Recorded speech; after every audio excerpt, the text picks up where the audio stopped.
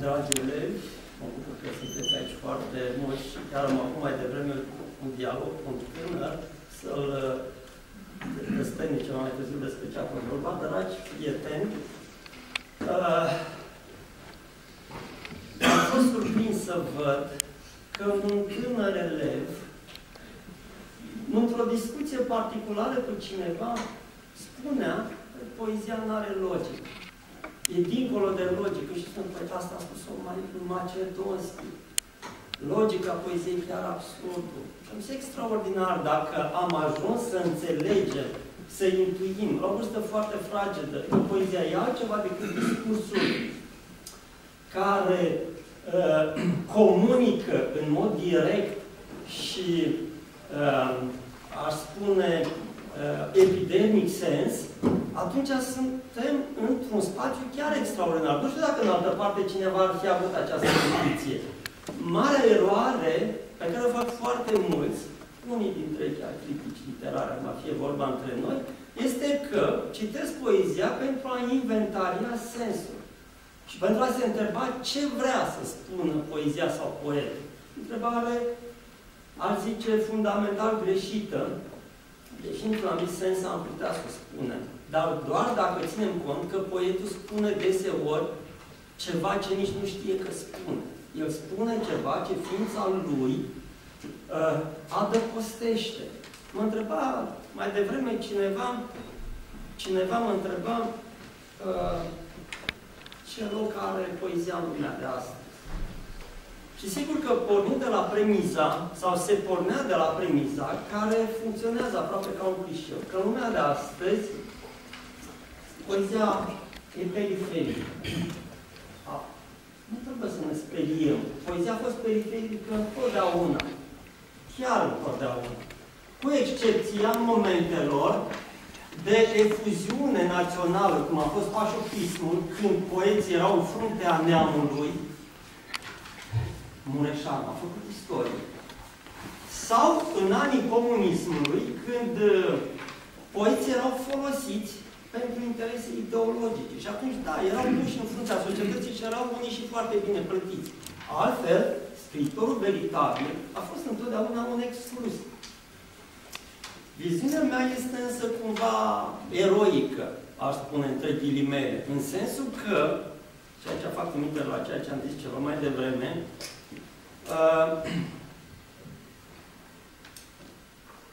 după părerea mea, uh, un poet are uh, o capacitate pe care ceilalți oameni nu au de a intui lucrurile uh, rafinate care țin de sensibilitatea timpului, fiecărui timp.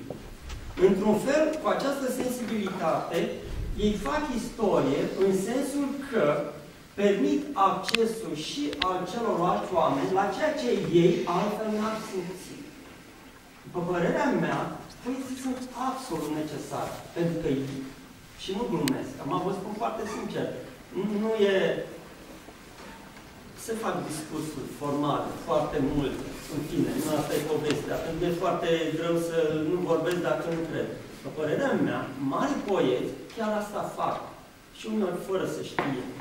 Comunică prin intermediul limbajului uh, experiențe ale omului pe care omul altfel nu le-ar putea parcurge. De asta poezia este esențială dintr-un anumit punct de vedere. Acum, bine că ne întâlnim la ipoteze. Sigur că ar putea cineva să spună uh, cum se întâmplă și în cazul religiei, de exemplu. De ce să ne întâlnim la ipotezi? Putem să uh, ne rugăm sau putem să citim poezie în orice spațiu. Firește că e așa. Dar aici mai e o chestiune importantă, care ține nu numai de respectarea trecutului. Eu cred că, într-un fel, Eliade avea dreptate. Trăim într-o lume profană, viața noastră, a omului în general, e racordată la existența imediată, dar tot ce facem noi, fără să știm, se înscrie niște tipare sale. Noi repetăm niște experiențe originale. Ori întoarcerea la ipoteci are într-un fel uh, semnificația unei întoarceri ritualice la originile poeziei. Pentru că Eminescu acolo se află pentru lirismul românesc. Ok. Uh, nu mă gândisem că vă voi spune lucrurile acestea. Mă gândisem că vă voi spune altceva. Sigur că, fiind și foarte mulți elevi și uh, prietenii mei de aici, o să mă ierte sau o să mă tolereze, uh, mă gândeam că ea putea să mă întrebe, dar ce este poezia? Și aici eu aș fi răspuns cam așa cum a răspuns Caragiale când spune el într-un text că trebuia să țină o conferință pe tema ce e arta. a zis, domnule, doar un nebun și-ar putea propune să răspundă la această întrebare. Acum, cei drept că sunt unii critici literare, esteticieni, filozofi, care, nu chiar nebuni, au încercat să răspundă, dar trebuie să și constatăm că nu odată, la răspunsurile lor, voi au cam strâmbat din nas. Așa cum strâmbă din nas când se discută despre generații literare, despre lucruri de felul ăsta, care sunt de istoria literaturii, dar care ignoră un lucru esențial. Fiecare poet, cum o spunea Cezar Baltar, trebuie trezit pe cuvânt. Fiecare poet are în spate experiența lui poetic. Sigur că noi putem vorbi de uh, anumite constante, de lucruri care se repete și la un poet de secol XVIII, și la unul de secol XX, și la unul din Antichitate, și la unul din România sau din altă țară, putem identifica niște constante, putem identifica după aceea că există ca într-un lanț, niște verici care înseamnă generații literare, putem folosi acest concept, dar le putem folosi toate acestea știind că fiecare poet este un caz irepetat. Acum, sigur că fiecare poet trebuie crezut pe cuvânt, dar, cum o spunea Laurențiu Ulici, care este foarte legat de locul acesta, putem să ne gândim uh, lumea poeților, să o gândim ca pe o piramidă.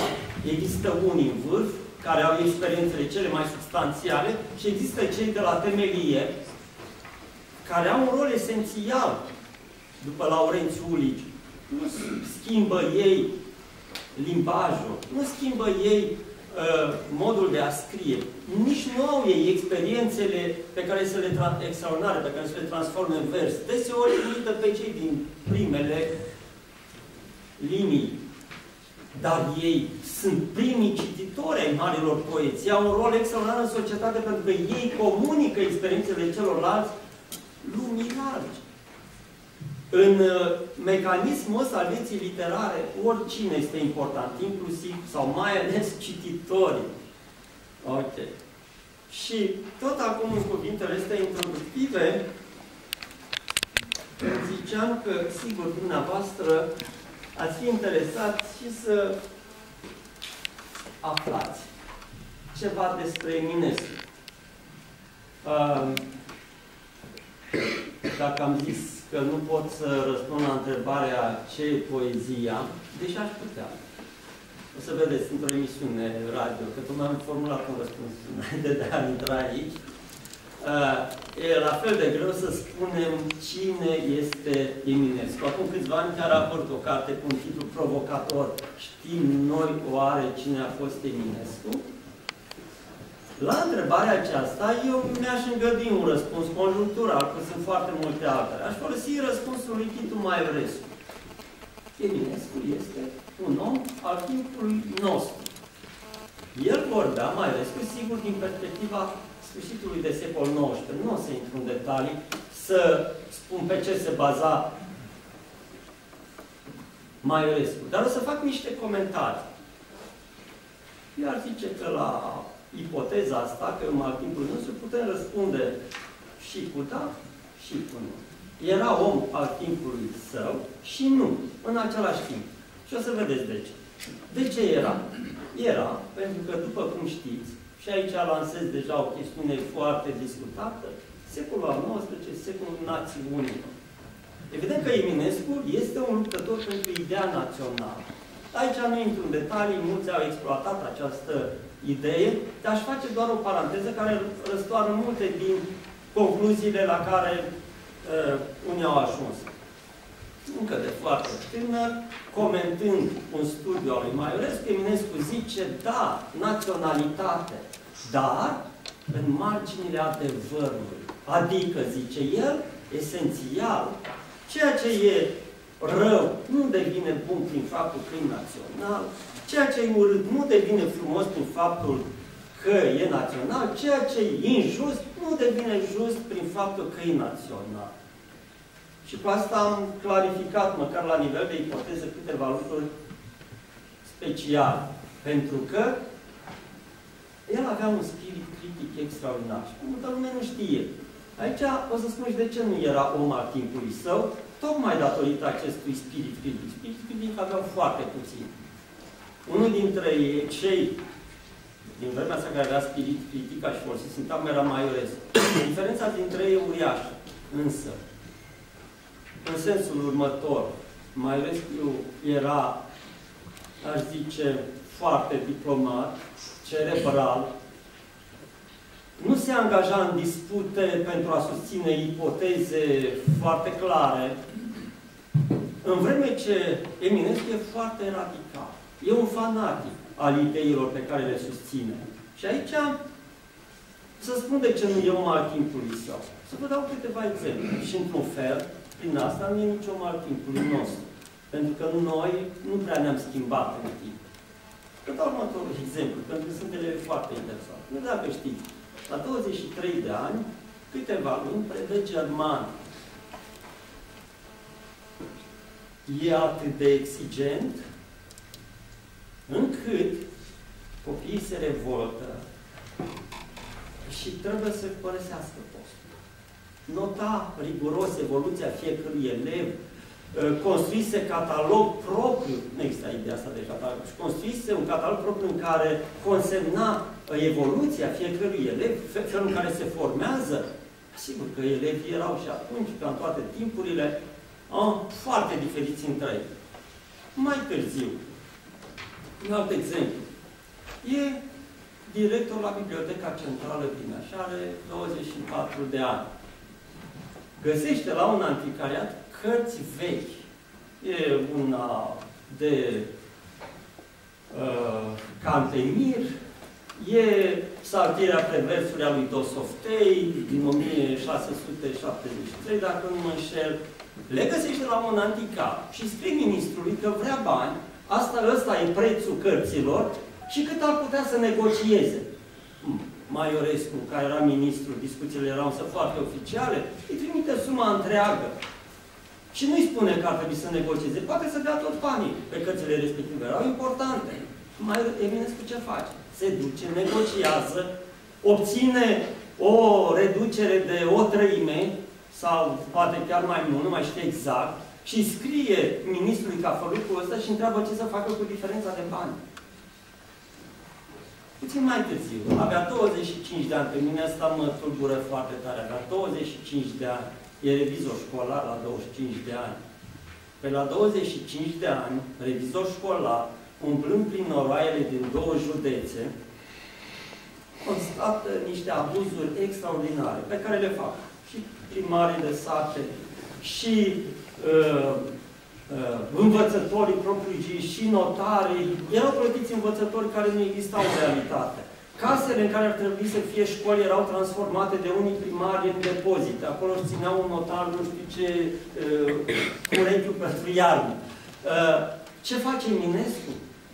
Dă sancțiuni, propune comisii, organizează concursuri, transmite rapoarte la ministru și la prefect. E un om, puțină lume știe, foarte cu picioarele pe pământ, foarte angajat în ce? În instituirea în România a unor reguli care nu erau specifice societății românești, aduse din Occident, privind lipsa corupției, respectarea regulilor, crearea de reguli. Păi la un moment dat, la o instruire a profesorilor, lipsiseră mai mult de jumătate. El a consemnat din obișnuință și în anii trecuți făcuse la fel. Ce propun? Păi propun să fie sancționați cu nu știu cât la Și ministrul aplică chestiunea asta, pentru că acolo se desfășoară lucruri foarte importante de metodă.